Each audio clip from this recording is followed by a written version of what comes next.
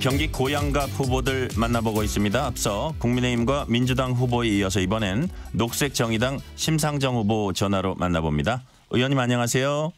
네, 안녕하세요. 자, 지난 21대 총선에서 경기도에서 유일하게 제3당 후보가 당선된 지역이 고양갑입니다. 그 주인공이 바로 심상정 의원입니다. 이번 선거 어떤 마음으로 뛰고 계세요? 네, 우리 고향 주민들께서는 어, 지난 12년간 저에게 무한한 신뢰를 보내주셨어요. 지난 12년간 제가 한 정치에 대해서 종합적인 평가를 받는다는 겸허하고 절실한 마음으로 임하고 있습니다. 네. 자, 목소리 많이 잠기셨네요. 아, 그렇습니다. 네. 네네. 자, 고향에서 어, 내리 3선 17대 때 비례대표셨죠? 그래서 이제 이번이 네네. 5선 도전입니다. 자, 지금까지 치른 선거 가운데 이번 선거 난이도 이제 따져보면 상중하 가운데 어떤 걸 꼽겠습니까? 아, 당연히 상이죠. 늘 어, 저는 어, 소수 정당이기 때문에 늘 어, 선거는 저에게 가파른 승부입니다. 아, 그렇습니까? 늘 그랬듯이 요번에도 상중하 중에 상이다. 요번이 특별히 뭐 네네. 어떻다 그런 건 아닌 뜻으로 들리네요. 어, 최선을 다하고 있습니다. 네네. 그렇다면 고양갑 국회의원에 왜 또 심상정이야 하는지 그리고 후보님께 고양갑은 어떤 의미인가요? 우리 고향갑 주민들께서 소수정당 후보인 저를 세 번씩이나 당선시켜 주시면서 네. 어, 제가 걸어온 험난한 제3의 길을 동행해 주셨어요. 한국 정치사를 새로 써주신 거죠. 어, 아마 매 총선마다 우리 주민들께서 투표장에 가실 때까지 가장 고심의 고심을 거듭하는 그런 주민들이라고 생각합니다. 아, 그러면서도 늘 정치 변화와 미래를 선택해 주신 주민 여러분께 정말 감사드리고 어, 이 고향갑 어, 미야말로 대한민국 정치 1번지라고 생각합니다. 네. 아, 이번에 제가 아, 지난 12년간 고양시 균형 발전을 위해서 펼쳐놓은 많은 일들을 제대로 제 손으로 마무리해서 어, 주민님 주민들께 보답드리고자 합니다. 그리고 저의 저와 진보 정당에 기대했던 어, 좋은 정치의 열망도 어, 오선의 힘으로 어, 끝까지 최선을 다해볼 생각입니다. 네. 자, 지금 고양갑에서 뛰고 있는 선수 모두 4명입니다. 아까 뭐 난이도 상중하 질문하고 좀 비슷해 보이기도 하는데요.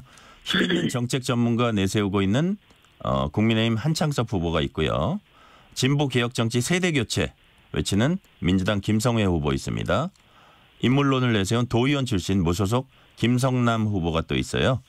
이 중에 최대 경쟁자를 한 명 꼽으라면 누굴 꼽으시겠습니까? 일단 이 세 분 모두 지역에 오신 지 얼마 안 돼서 면면을 평가하기는 어렵다고 봅니다.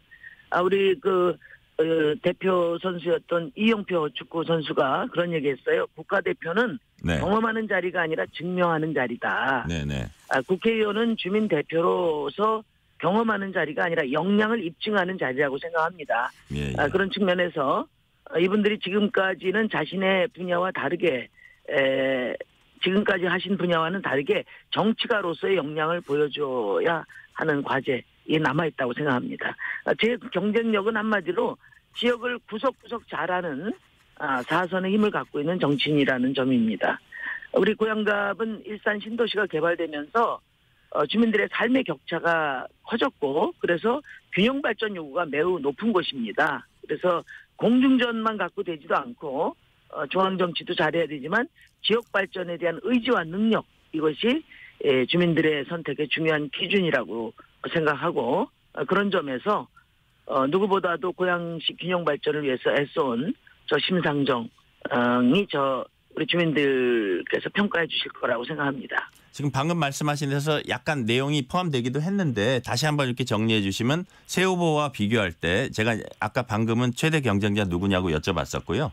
심 후보님에 대해서 뭐, 뭐 저희가 워낙 잘 알긴 하지만 본인의 최대 강점, 경쟁력 그게 뭔지 한번 다 유권자들한테 다시 한번 이렇게 정리해서 말씀해 주세요. 음, 대표적인 성과로 말씀드리고 싶은 것은 어, 교통격차 해소를 위한 노력입니다. 아, 아무래도 우리 고향갑 주민들의 에, 관심이 가장 높은 것이 철도인데요. 네. 어, 고향갑에는 기존에 지하철 3호선밖에 없었지만 현재는 GTX A 노선, 식사 트램 통일 노선, 또 고양선 등 여섯 개 철도가 이제 신설되거나 추진되고 있습니다. 아, 제가 시작했던 철도 중심 도시 고양갑을 잘 완성시킬 수 있도록 우리 고양갑 주민 여러분들의 전폭적인 성원을 기대합니다.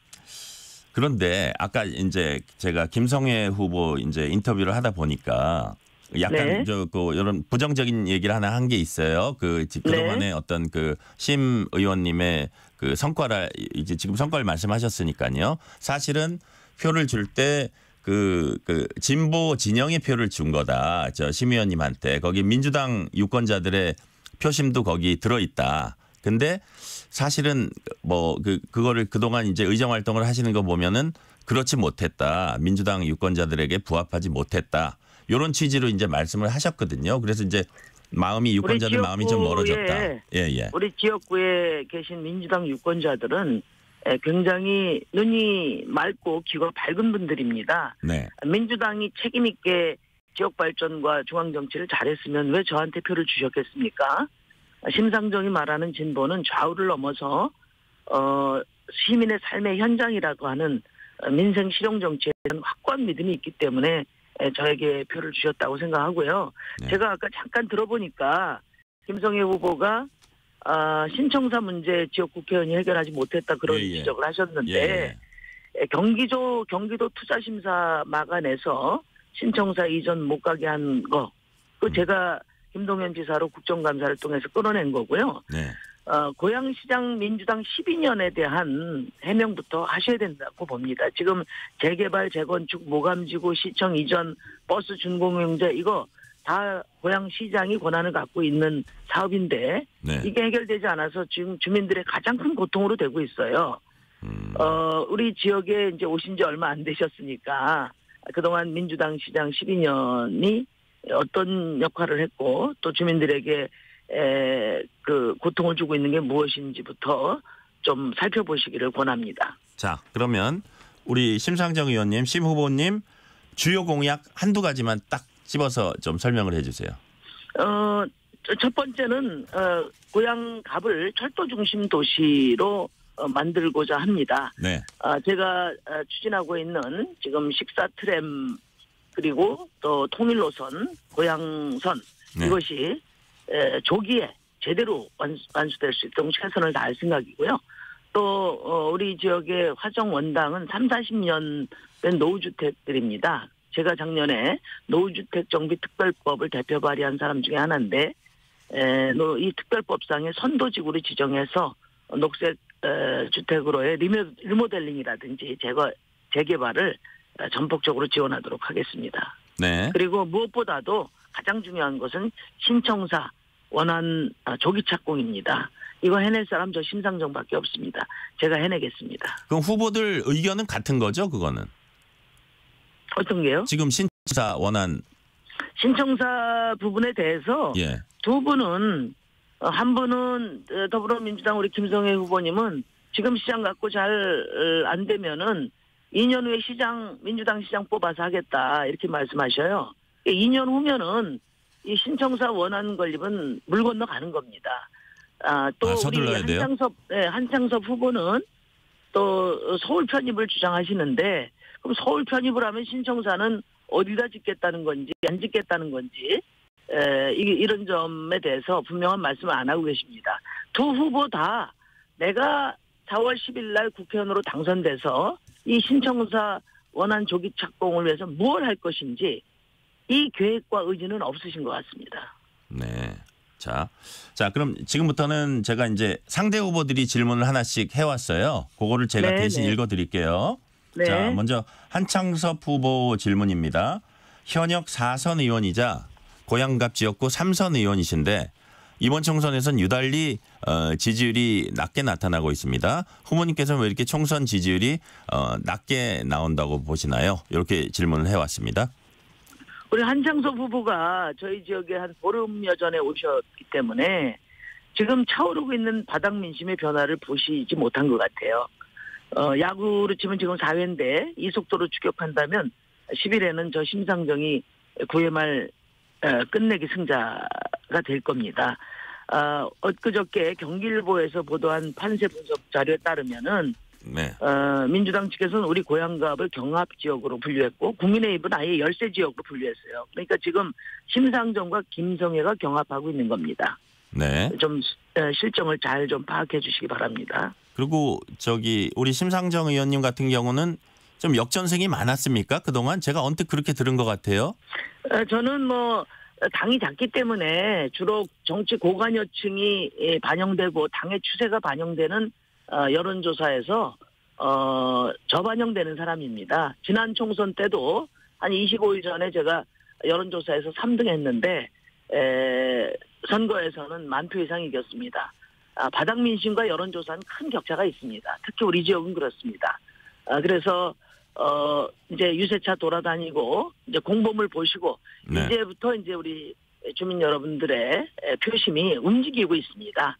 음, 어, 저는 어, 우리 주민 여러분들이 에, 이 표심이 에, 그동안 지역을 위해서 헌신해온 어, 구석구석을 잘하는 어, 오선 심상정을 만들어 주실 거라고 믿습니다. 네. 자 이번엔 저 민주당 김성애 후보가 저 드리는 질문입니다. 지난 대선에서 끝까지 완주한 것에 대해서 지금 총선을 앞둔 이 시점에 지난 대선에서 끝까지 완주한 데 대해서는 지금 어떤 생각을 스스로 갖고 계십니까? 이렇게 물어봤어요.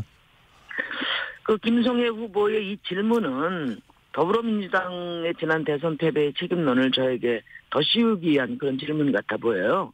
어, 그러면 거꾸로 제가 묻겠습니다. 당시 민주당 후보는 어, 패배를 예상하면서 왜 단일화를 제안 안 하셨나? 왜 어떤 연대의 노력도 하지 않으셨나? 그걸 제가 역으로 묻고 싶습니다. 네. 자, 뭐, 답을 다 하신 거죠? 네네네. 네네네. 자, 그럼 다음 질문 넘어가겠습니다. 앞서서 후보님께서 말씀하신 공약은 녹색 정의당 구호인 정권 심판과 기후 정치 전면화와도 맞닿아 있는데요. 민주당에서도 정권 심판론 내세우고 있습니다. 어, 녹색 정의당의 당의 정권 심판론은 민주당 정권 심판론과 같은 건가요? 다른 건가요? 어, 지금 그 국민들은 윤석열 정부의 전방위적인 퇴행에 대해서 크게 분노하고 있습니다. 그런데 우리 국민들의 이 윤석열 정부에 대한 분노는 단순한 무슨 뭐 정책 실패나 사건에 머물러 있지 않거든요. 근본적으로 민주공화국의 가치를 기본 가치를 지켜갈 의지가 있나 이에 대해서 근본적으로 불신하고 있다고 저는 봅니다. 제가 다음 질문이 현 정권의 가장 큰 문제는 뭐라고 보십니까? 했는데 지금 그 대답을 이미 네. 하고 계신 거네요. 예. 네네. 네네. 그래서 예를 들면 이틀막 사건이 자주 일어나는데 이거는 표현의 자유를 봉쇄해서 민주주의를 질식시키는 그런 행위라고 보고요. 입틀막 사건이요? 네네. 네네. 야, 언론에 재갈 물리고 또 어, 문제 제기하면 그저그 경호들이 입을 막고 사지를 어, 드러내는 이런 일들이 자주 보였지 않습니까? 아, 이런 점에 대해서 어, 기본적으로 이 민주주의를 민, 표현의 자유가 민주주의의 생명이라는 것을 정말 뼛속 깊이 각인하고 계신 분인가 이 점에 대한 문제 제기가 있고요. 또 김건희 특검은 정치 공세를 하려고 하는 게 아니고 그 어떤 신성 가족도 용납할 수 없다는 그런 법치 정의 실현에 관한 국민의 열망이거든요. 이거 이제 안 받아들이시고 또 이태원 참, 참사 가족들 손 한 번 잡아주지 않고 계속 거부권만 행사하는 이런 비정한 대통령에 대해서 우리 국민들이 정남이가 떨어진 겁니다. 뭐 한쪽에서는 검찰 독재 심판이라고 하는데 독재 정권 심판이라고 하는데 제가 보기에는 검찰 무능 정권이고 민생 파탄 정권입니다. 저희는 어 물가 폭등으로 고통받고 있는 어 시민의 이름으로 어 그리고 지금 실험을 실험하는 우리 자영업자의 이름으로 탄압받고 있는 노동자의 이름으로 또 기후 위기로 사로 쓰러져가는 어, 무생명들의 이름으로 윤석열 정권을 심판하겠습니다. 네. 윤석열 대통령이 대국민 담화를 했습니다. 이어서 전공의들 직접 만나고 싶다고 밝혔습니다. 의정 네. 갈등 어떻게 전망하십니까? 어, 그 정책이라는 게 그 쌓아뒀다가 어느 날 하루 아침에 에, 뭐, 한 단방에, 단번에 이렇게 에, 관철되는 경우는 없습니다. 왜냐하면 정, 우리 대한민국 국민은 다양한 이해관계가 있기 때문에 큰 방향에 대한 확고한 의지를 갖되 에, 과정은 이해 당사자들과 타협하고 조정하면서 문제를 풀어나가는 것이 민주주의입니다. 우리 윤석열 대통령은 에, 검찰 하시다 보니까 어 저 옳고 그럼 자기 확신을 절대적으로 믿는 것 같아요. 그게 바로 어, 민주주의를 훼손하는 특선이거든요. 네. 어, 저는 어, 정치력을 발휘해서 우리 지금 발을 동동 구르고 있는 어, 환자나 그 가족들 또 우리 국민들에게 더 이상 그 큰 어려움이 초래하지 않도록 빨리 해결하기를 촉구합니다. 네. 민주당 이재명 이재명 대표가 국민의힘 나경원 후보 별명이 나베라고 말했습니다. 여성 비하적 용어인데 그 김준혁 후보에 의해서 이제 논란이 일고 있습니다. 이런 부분들 어떻게 보세요? 저는 이렇게 그냥 그 언론이 양당의 그 극단적인 혐오 대결 정치의 언사만 경주마식으로 보도하는 것에 대해서 더 큰 문제를 갖고 있습니다. 우리 국민들은 윤석열 정권 퇴행에 대해서도 진저리를 치지만 지금 양당 정치의 퇴행에 대해서도 어, 정말 그 꼴도 보기 싫다고 하거든요. 지난 37년간 양당이 정권을 번갈아 어, 맡으면서 내놓은 대한민국의 성적표 세 가지 하나 OECD 국가 중에 가장 불평등한 사회를 만들었습니다. 그리고 어, 전 두 번째 전 세계에서 인구 소멸 국가 첫 번째 국가로 꼽혔습니다. 셋째 지금 기후 위기 극복이 최대 지구사적 인류사적 과제인데 우리 대한민국이 기후 악당 국가로 꼽혔습니다. 이게 양당이 37년간 만들어낸 어, 성적표입니다. 그렇기 때문에 다당제 연합 정치를 통해서 어, 극단적인 대결 정치를 완화하고 어, 민생 정치, 기후 정치를 회복해야 됩니다. 네. 그 중심에 저와 녹색정의당이 서겠습니다. 어제 이재명 대표가 76 주기 4.3 추념식에서 4.3 기자들을 만난 자리에요. 4.3 폄훼 인사에 대해서 공천을 취소해야 된다. 이제 국민의힘 그 향해서 한 말입니다. 이 부분 어떻게 보세요? 각 정당이 지금 그 공천 과정에서 검증 부실로 지금 국민들에게 많은 걱정을 끼치고 있습니다. 더불어민주당도 그렇고 또 국민의힘도 그렇고 어, 스스로 어, 자기 이 공천의 오류를 바로잡는 일들을 좀 해주시기 바라고요. 어, 4.3을 폄훼하는 것은 어, 대한민국의 그 헌법 정신을 폄훼하는 것입니다. 그렇기 때문에 당연히 국회의원으로서 자격 없다 이렇게 말씀드릴 수 있습니다. 지금 한 30초 정도 남았는데요. 의원님 고양갑 국회의원의 심상정이 당선된다, 당선돼야 하는 이유 짤막하게 한 줄로 말씀해 주세요. 어, 지난 12년간 어, 심상정을 절대적으로 신뢰해 오신 신뢰해 주신 우리 주민 여러분께 다시 한번 감사드리고 그동안 제가 고양시 균형 발전을 위해서 해온 철도 중심 도시 고양갑을 제 손으로 완성할 수 있도록 전폭적인 성원을 부탁드립니다. 아, 정권 심판도 지역 발전도 기호 5번 심상정입니다. 최선을 다하겠습니다. 감사합니다. 네, 오늘 여기까지 듣겠습니다. 경기 고양갑 녹색정의당 심상정 후보였습니다. 감사합니다. 네, 감사합니다.